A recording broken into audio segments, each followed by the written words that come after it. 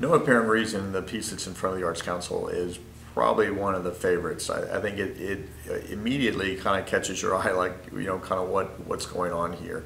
And uh, not to mention that it's a well-crafted work, but it's a particular, it's a, uh, it captures a particular type of goat that uh, evidently uh, forages for these pecans that somehow are in this rocky terrain. And so you'll see the goat up on a ledge, kind of perched over.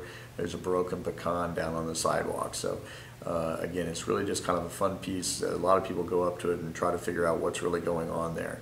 Um, um, but again, it's right out in front of the Arts Council.